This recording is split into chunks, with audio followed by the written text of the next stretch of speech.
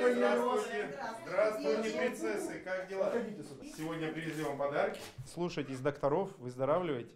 В Лазаревскую больницу подарки привезли Павел Афанасьев и Александр Бурляев. К юным пациентам они пришли вместе с докторами. Всегда, наверное, приятно, когда приходят люди, там, Дед Мороз, мы еще с детства привыкли видеть каких-то Дед Морозов с подарками. Поэтому, ну, пускай мы поиграли немножко в дед, этих Дед Морозов в преддверии Нового года.